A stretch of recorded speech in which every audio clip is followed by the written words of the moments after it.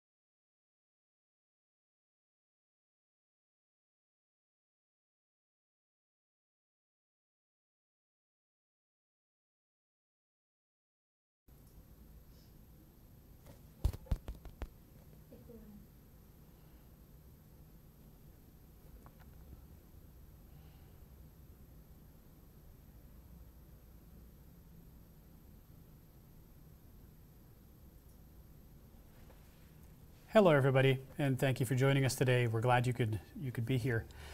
Um, this is a Chili Chat, and in these chats, we talk to specialists in specific fields about their experiences. And today, we'll be talking about personalization and customization in the nonprofit sector. For this talk, we'll be using Slido to gather some input from you. So you can participate by using the link below on your screen, which is chili-publish.com slash chilichat20 to join us over Slido, and you can give us your opinions on certain things. We'll use that information afterwards in the discussion that we do after. Um, I'd like to start with a test question just to make sure that everybody has access to it. You can open this in an extra browser window, or you can open it on your phone if you're more comfortable working on two different devices. So the first question is, has your company created personalized and customized marketing materials before? Three possibilities, yes, using a dedicated platform, yes, but we still need designers to create the variations, and no, not yet. Great. That was a good first question. We'll use that as a starting point for our discussion afterwards.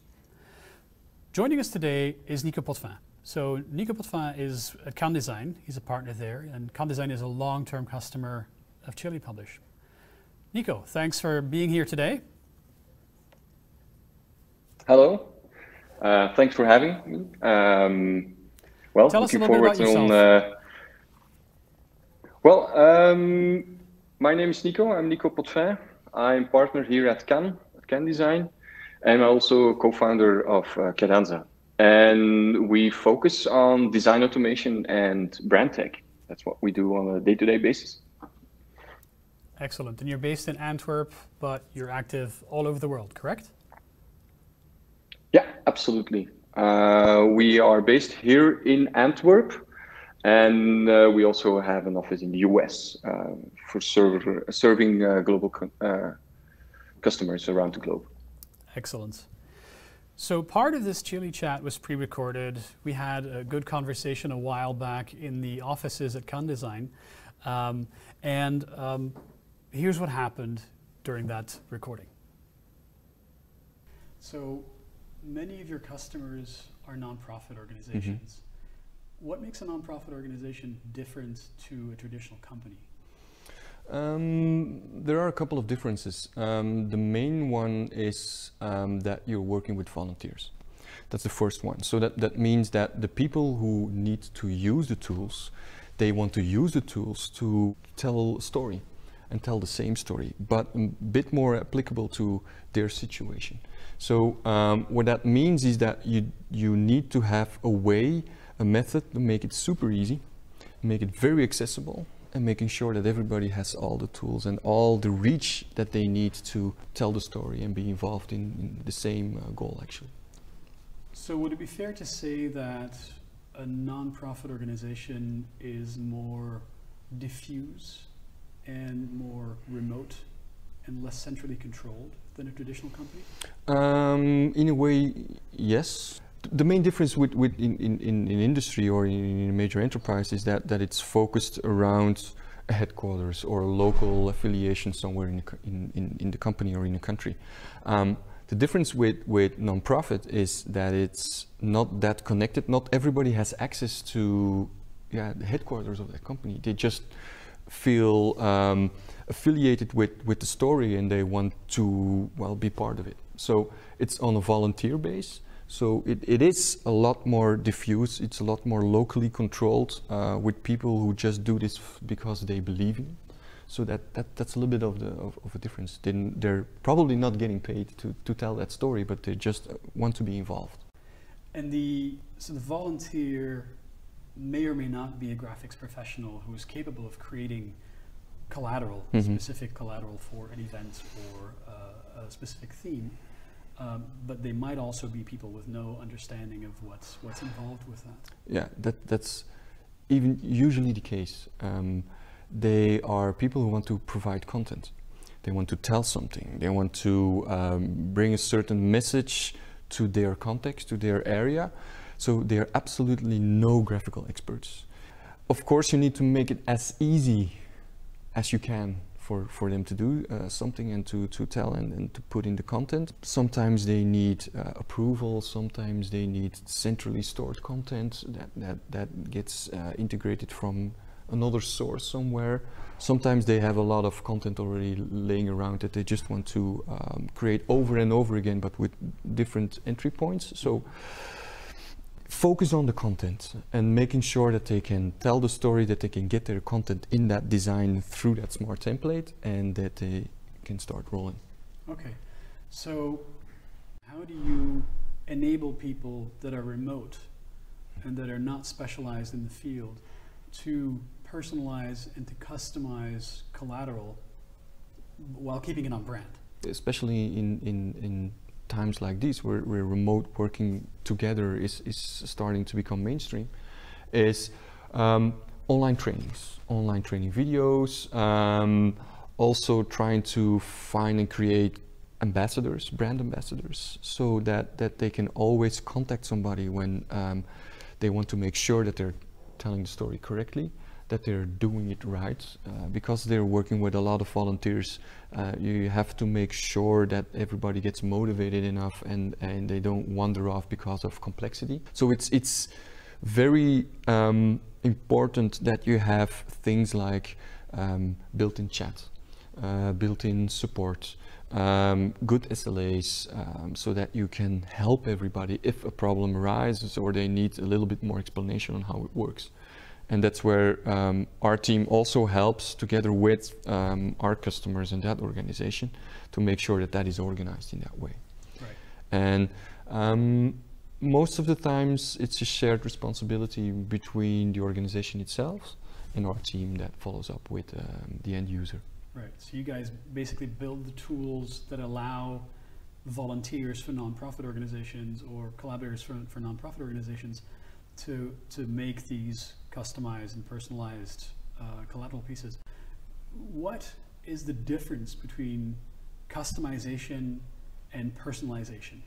So uh, there is a big difference. Uh, customization means uh, customizing the design. Of course, within the branded environment and the, the branded guidelines, um, and it can be anything. Uh, it, it, can be creating a leaflet, creating a folder, but also transforming that to um, different variants or different sizes, for example. If you want to create something for an advert, for every uh, um, media, it will be a different size, even for social media.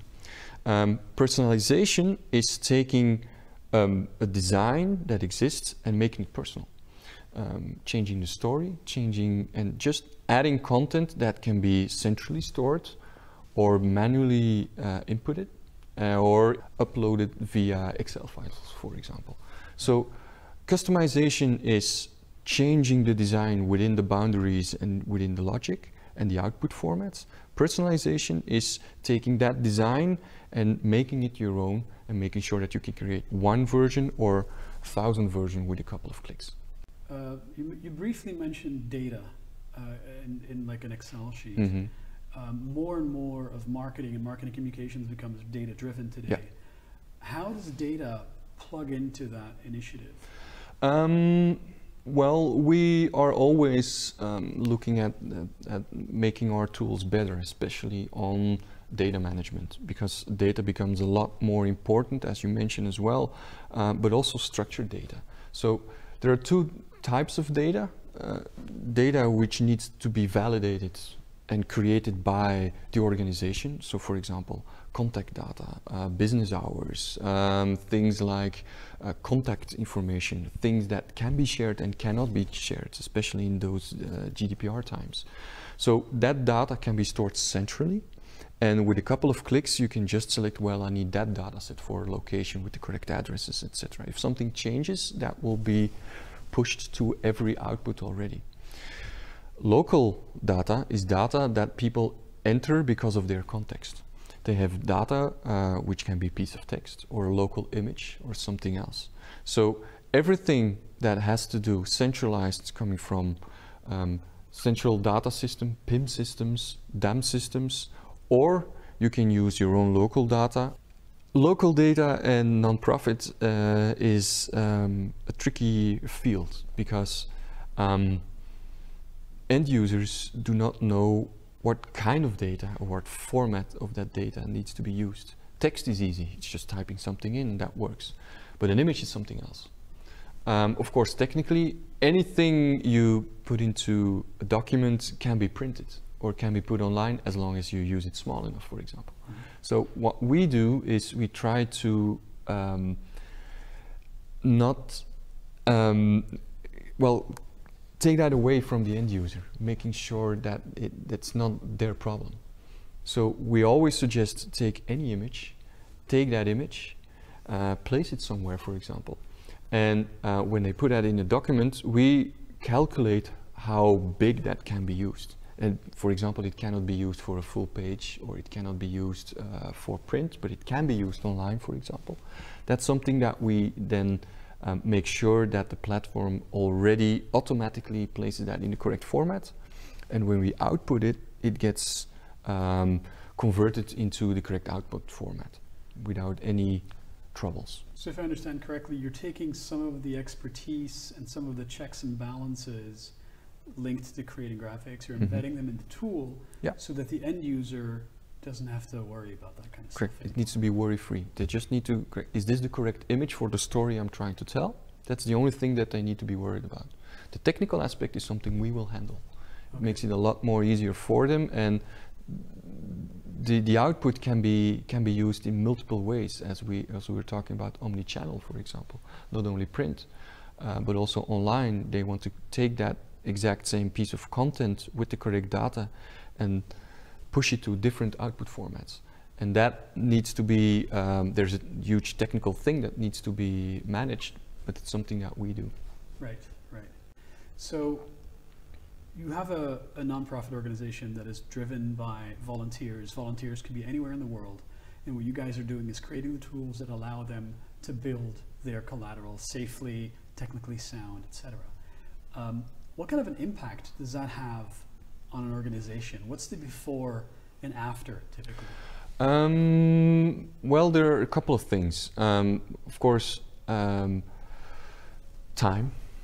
Saving time is a lot, it's, it's a big impact. Um, we usually see situations where a non-profit does not have an entire graphical team to manage everything. Because as we're living in, in, in, in, in a world where visual communication is key, all that data or all that, that, that collateral needs to be created and they need big teams to manage it.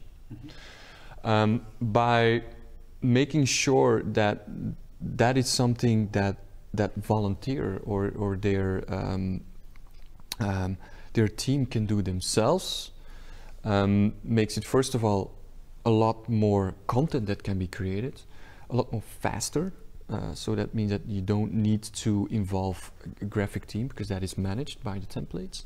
Um, you take away a lot of overhead and a lot of stress mm -hmm. um, because um, usually smaller teams they get all kinds of requests. You get a lot of small requests and that that's a huge um, impact on the designer or the small design team that they have. So cumbersome tasks like um, creating an, an, an highly uh, localized version of the key message can be created by a volunteer themselves so that the, the, the, um, uh, the designer that they have in their team does not need to do that themselves. They can think about the strategy. They can think of how we're going to communicate and how it needs to look.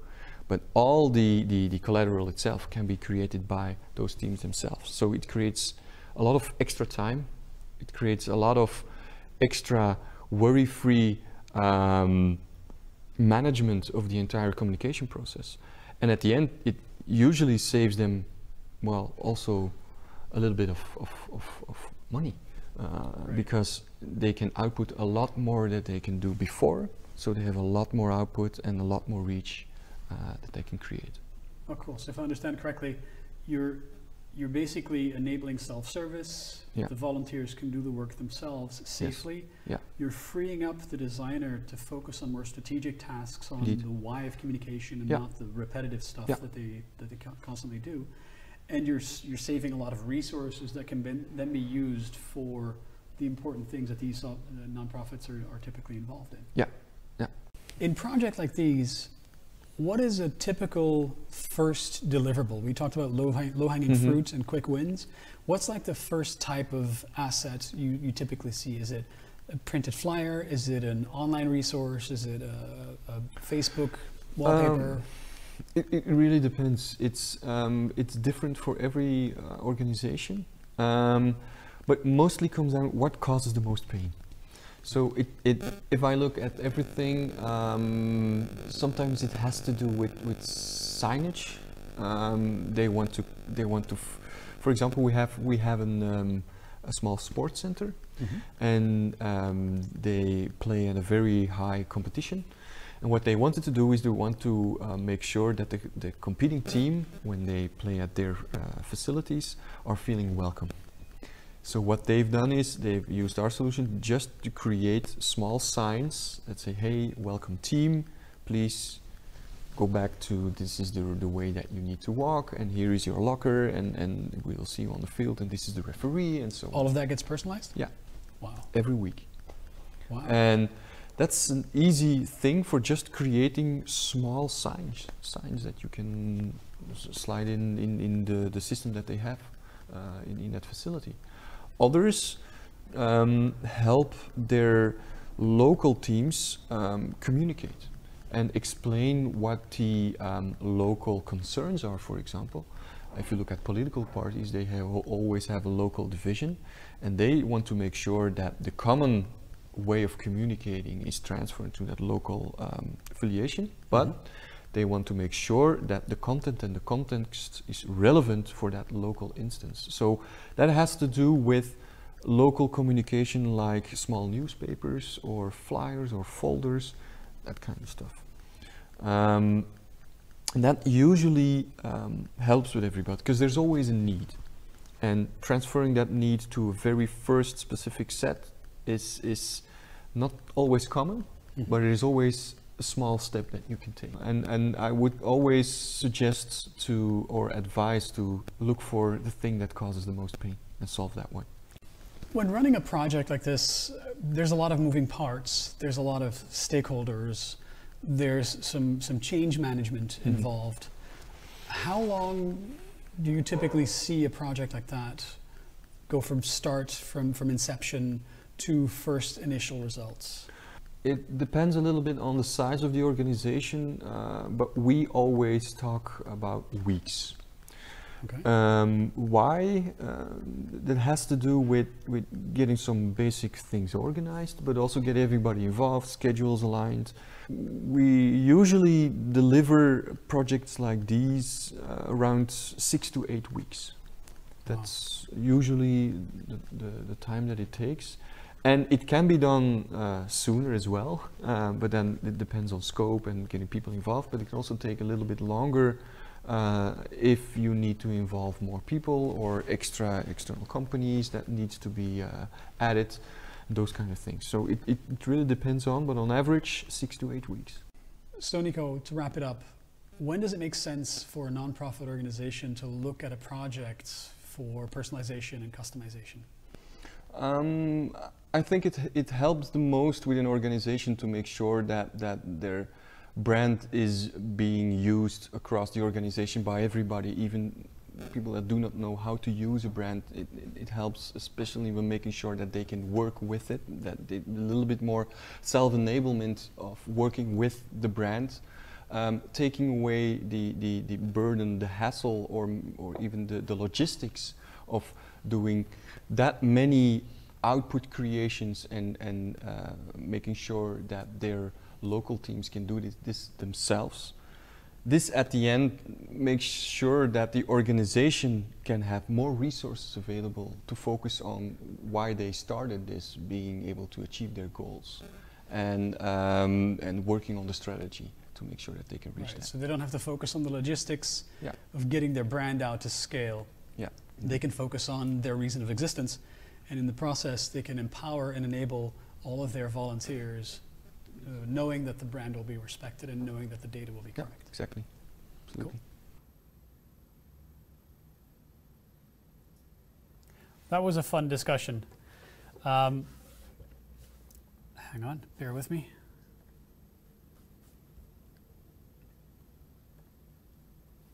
Um, so thanks a lot for your input. Uh, we've had some really good feedback from the audience. Uh, Nico, uh, I can't help but noticing you were wearing the same shirt today live as you were during the recording. Thanks for that. Good for continuity. Um, yes, I have it here. The first question we, the first question we, we talked about was: Has your company created personalized and customized marketing materials before? Um, about half of them have done using a dedicated platform. But before we dive in too deep, I'd like to ask: How would you define customization of marketing materials? Um, well, as we talked um, during um, the video, and, and, and, as I mentioned, there are two differences. There's customization and there's personalization.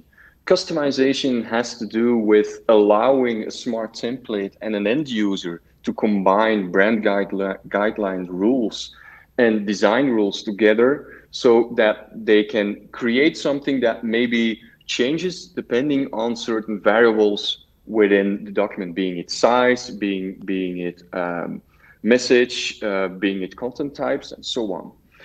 Personalization um, is a little bit different. Personalization has to do with your own content, and not only the personalization about name and, and addressing somebody and saying hi Nico, for example, but also personalizing the content based on the context where it is in written. So um, if you're talking about uh, personalization within the nonprofit sector, um, it is very handy to allow an end user to take the common message and make sure that it's relevant uh, within their field, within their groups, within their organizations locally uh, in, in their organization. So that's a little bit of uh, the difference between both. Okay, excellent. Um, in, if we move on to, to the next question, um, a lot of people that are joining us today are founders. Um, second largest categories are marketing and, and sales and business development. In your experience, what are the typical profiles that get involved in a personalization and, and a customization project for nonprofit? Um, I think it's a combination of different profiles. Um, why? Because we want to make sure that not only um, marketing um, is involved, but also others. Um, it can be strategic partners like like founders uh, in this case, or it could be um, IT teams as well, because there's always some technicality that's going on, and designers also. So the the the best approach is involving both the business team, being marketing, being sales, being higher up, um, but also designers so that they know on how to design for personalization, for customization, uh, to make sure that the designs can accommodate it. And then also technical profiles so that they can help with um, some technicalities or making sure that everybody has the right tools, uh, being a good internet connection or a correct browser, and that they at least know that this system is available within the organization. Uh, that helps with okay. Uh, the adoption rate. All right, cool. So the dream team essentially is made up of designers, marketers, and and tech tech people or IT people. Yeah, yeah, absolutely. Oh, cool. So the next question is, what is the biggest impact of personalized marketing? Um, the largest part of our audience thinks that building a better customer experience is the main goal or the main impact of personalized marketing. What's your experience with that? Um, if I look at, at the, the goals that we've set with uh, different projects, uh, what we see is that, of course, the, the, the, the, customer experience, being the end user, being the, the, your customer or your persona or um, any, anyone that you're focusing your message on, um, gets reached more efficiently and with the correct context. So there's a huge benefit on, on um, telling the story which is fitting within um, your demographic, within the groups that you are focusing on. Um, so that makes it a lot easier and a lot more efficient to get that. The second one, talking about efficiency, is also getting the process in, um, done quicker than before. If you look at a, at a, at a classical process, it is requesting uh, setting up a briefing, briefing a designer, designer designs something that gets sent back, that goes to a copywriter maybe, that then needs to be approved and sent on. And, and what you can do now is you can take everything in your own hands. You can go to the system, click on creating a new document based on our templates, enter your content, click save and download your collateral because all the other things like guidelines, messaging and others are all managed automatically within the system. So you don't need to worry about the technical stuff, about um, how something has been set up and just put the message out there, click on um, save and you're ready to go. Oh, cool. So the, it's not just about a better customer experience for all the users, it's also about creating efficiencies and, and getting marketing out at scale as well. Yeah, yeah, absolutely. Cool. Then the next thing we asked was Is your organization ready for personalization and uh, customization? What would you consider? When would you consider an organization to be ripe for this kind of activity? Um, First of all, um, some of the things that, that need to be done is um, if you're allowing a lot of people to um, start working with your brand, you have to make sure that your brand is ready for it and also that the designs are ready for it. So um, that has to do with the designs itself. If you're starting to automate or personalize, then you also need to make sure that the designs are ready to accommodate it so that you also uh, need to rationalize everything that you might have how can you consolidate different designs, different variations for customizations um, onto a, a, specific template so that they can be um, built up more easily and also be used more effectively. That's that's one thing. Um, second thing is also um, when you are ready to um, to let go of of um, well a little bit of the mass logistics that go behind mass personalization. So um, you don't need to worry about getting all those designs ready and, and working on every variation and sending it back. No, that's something that the end user can do themselves. So you can have well, you can have more time and make more time available to uh, worry about strategy, worry about uh, other things besides creating X version of the same design. Okay, so it's not just about um, about uh, enabling uh, self-service. It's also about first making sure that the brand is ready and defined in a way that it allows for customization. That, that it's it's defined like what's what can be changed and what can't. And then next, you have to be the will. You have to have the will to dedicate some more time to strategic things and less to the, like the manual, repetitive parts of the job of creating all these personalized iterations. Yeah, yeah, cool. absolutely. So the next question we ask are, what are the biggest struggles of companies with personalized marketing? And this is what uh, the audience thinks about that. Now, it, as a former salesperson, to me, these are objections, right? Um, do you see any showstoppers here? No, no. Um, there are a lot of things that that um, objections that that might lie here, like data sources are scattered. Um, it doesn't need to be uh, an issue because these days you can easily combine things. You can combine PIM data, you can combine uh, ERP data, CRM data together with designs um, to have a lot of that process automated. So if data is scattered, you can combine them. You can combine um, assets uh, in a DAM solution with metadata from a PIM solution. And if you would drop that asset to a certain template, it will be automatically populated. Things like that are easily set up and, and do not need to be an issue. Other things like incorrect customer data um, or, or audio segmentations are too broad. No, you can personalize. So you can make sure that you can target the correct audience, that you um, can have the correct data. If the data is changed somewhere, it will be automatically populated to uh, the end result. So I don't think that there are a lot of um, struggles that are listed that are that are um, not easy easy to solve. Um, so I don't think it's it's it's that big of an issue. Actually, you can you can start right now. Actually. I remember a conversation we had recently where you looked at a number of things that came up in, in discussions and you call them myths. Right? And part of the part of the work that, yeah. that, you had to do was basically confront those myths and, and test them to reality. Yeah, yeah. The next question we asked is what type of assets would you most likely want to customize or personalize? So would it be more for online use? Would it be print production? Would it be flyers? And we're getting a, a bunch of answers here. So a lot of uh, printed collateral, retail signage, so large format, sell sheets, brochures, uh, online things.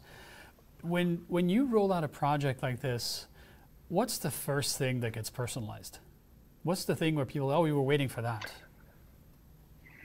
Um, well, it, it, depends on the organization, uh, but my answer is always the ones that make the most sense and really are the low hanging fruit. What is the biggest struggle you have today? Everything that is listed here is something that you can automate. Um, you can create flyers for print. You can create the same flyers for low res and pu publish them on, on Issuu, or you can create anything that needs to be printed on something.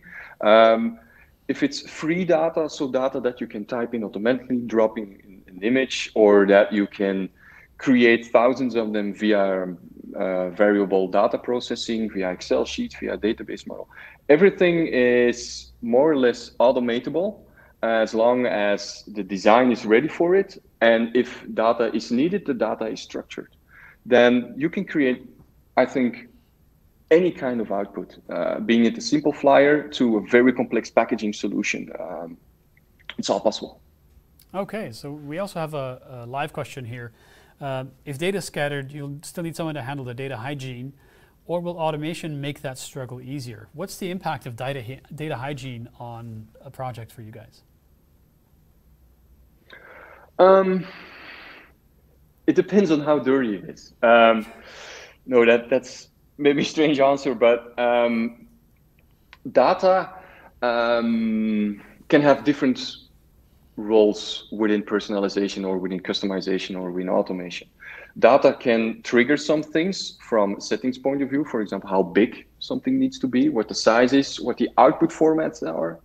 Um, so it can have an impact, um, but the good thing is that you can, with a couple of flicks, you can recreate it with the correct data set. You don't need to redesign everything because a lot of design teams in, well, in classical uh, workflows need to design something. And at the end, you notice that something is wrong, that you have to redo everything. No, you just republish the data, click on uh, re-render, and everything is updated. Oh, so any changes in, in data hygiene are replicated automatically throughout all the assets that you've already personalized then? It could be. It could be. It depends on, on how it how it's been set up. But you can you can manage that data and you can decide yourself what kind of extra uh, renders that need to be created or that they need to be recreated. Right. Okay, that makes sense. Then we asked, do you think your team would be able to create personalized assets in an online editing tool? And about two thirds of the people said yes, our team can be self-sufficient. Um, what is the learning curve for somebody with zero experience? Let's say you're a volunteer for a nonprofit organization somewhere far away from the HQ and you get a platform. How long does it take for these people to be able to customize a, an asset towards what they need? Um, not that long, actually. Um, we see uh, in, in a lot of our volunteer projects that um, the adoption rate is quite high. Um, things have to do, of course, with uh, with how eager they are to start using this system. That's the first thing. Second, um, user experience, of course, uh, making it as easy as possible um, making sure that they don't need to worry about technical things. So as long as you are able to fill in a form, select a field, or or um, filling in uh, a text element, um, you're good to go. So as long as you can type and you can click, you should be able to fill in any uh, output that you can imagine. Oh, fantastic. Well, I mean, that's one of the things we also discuss here internally a lot, and, and we always say, personalizing or customizing any asset should not be any more difficult than the things that you already do every day. Like for example, if you if you take if you get grab money from an ATM, what you're doing is you're authenticating, you're putting in some data, and that's it. You're done. You're typing a couple things, you're selecting a couple of things, and you're done. It shouldn't be more difficult than that. Yeah, absolutely. So the next question is live, and um, the question here is: Do we still need designers? Are you wiping out the need for designers worldwide? No, no, we always need designers, but we need to um, allow them to do different things. So um, designers, in the case of automating, are doing repetitive tasks. They're just doing the same thing over and over and over again, and it just takes a lot of time. Um, I always take the example if you ask a designer um, to take the same amount of time, and in the same amount of time, they need to create a thousand business cards or come up with a new communication strategy, all of them will probably um, select the communication strategy. So the time we still need designers, but the time that they are, are using now to create variants of the same design, take that time and allow them to think about strategic stuff. And it will make their lives a lot more, um, a lot more, uh, well, fun actually. Okay. Cool. So the next question is, what do you think the organization's minimum annual budget needs to be for personalized marketing? And we thought, okay, is it in the tens of thousands? Is it in the hundreds of thousands? Or is it really cheap? Is it only thousands? In your experience, in what kind of ballpark are we looking? Um, I think most of the audiences have it correct. Uh, on average, um, of course, there are always exceptions, uh, tens of thousands, fine. And not on the other element of the scale. So at the beginning of the tens of thousands, you can do a lot of things. Um, you can have a platform, you can have templates, you can train a team, um, and and set up your first uh, personalization templates quite easily. Um, there are some comparisons that you could make. Uh, think of it as an average size car, for example. Um, it's more or less the price range you can think of on average to start doing things with um, customizable and personalizable templates. Oh, fantastic. So not like a Rolls Royce, but like something a family would, would typically use. Oh, yeah. very cool. Yeah, yeah. yeah, yeah. Um, the next question we have is how long on average does it take to be up and running? And that is from like you, you get the go ahead, yes, to having a, a fully rolled out working platform with people trained and ready to use it. Um, we usually uh, talking weeks. So on average, uh, a project uh, between four to eight weeks. Mm-hmm. Um, and that has to do with with getting some processes aligned, getting schedules aligned, um, getting things configured and set up and trained, um, content added, uh, configured, tested, and then rolled out. So that's that's mostly the time range that you need to think. Um, of course, it can be a lot more depending on the complexity, but for ballpark, four to eight weeks, and you're good to go. Okay. Another live question we have is uh, for a project to be successful, what has to be in place as far as technology, uh, but also like processes and, uh, and, and human resources? Um, first of all, there need to be um, designs. There need to be rationalized designs. There need to be um, willingness also. So that also means that there need to be a little bit of a change management to um, allow your um, users to create things themselves. Um, you can look at specific data sets and others that might be uh, need to be linked and need to be connected. Um, but other than that, um, a little bit of time, um, a little bit of persuasion, and a little bit of, of yeah willingness to use uh, and to to um, enthusiast your end users uh, normally should be completely fine to get to get started. All right, so that means a lot of organizations are pretty much ready for, for this. There's no big changes required to the organization before they can be successful with personalization and customization. Fantastic.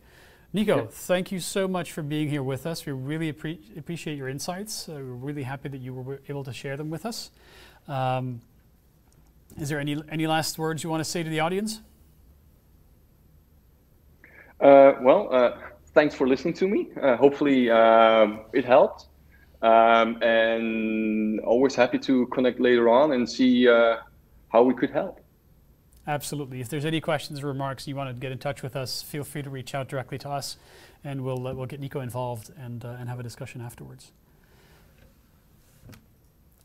So, everybody, thank you for joining. Um, it was a lot of fun to be here. Uh, I'm going to ask you to hang on for just a little moment. We have a few more questions for you that allow you to say what you thought of the event and how we can make it better next time. Um, uh, you can let us know what you think, and I would ask you to keep an eye out for the future Chili Chats.